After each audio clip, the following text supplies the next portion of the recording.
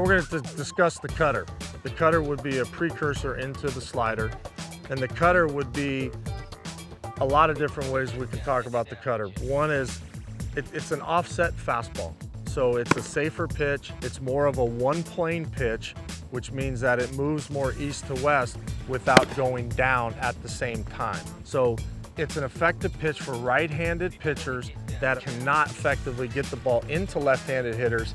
So they add the ability to throw to the outside part of the ball, essentially off their fastball, to be able to have the ball move this way and miss the center of the bat. So essentially the grips, again, can vary can vary quite a bit. There's your four seam fastball. You can offset your four seam grip into this area. And when we throw the ball, we are gonna basically release the outside part of the ball, but our grip kind of facilitates that. I've seen other guys where they have moved the ball on the inside portion of it. So again, what we're trying not to do is we're not trying to get to the front of the ball, we're trying to stay behind the ball with our wrist. And it's gonna be a very higher velocity pitch than any of your breaking balls. It probably will be more towards your four seam fastball than it will be towards your slider speed and your curveball speed.